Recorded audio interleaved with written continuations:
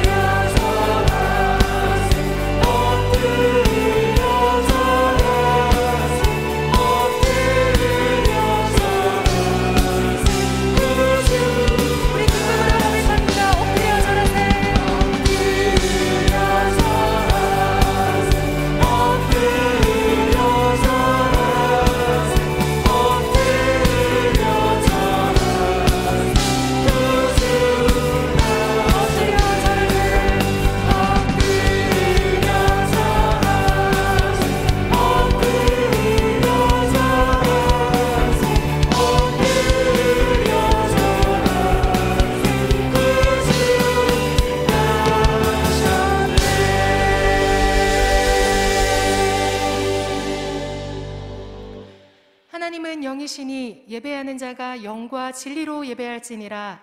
아멘.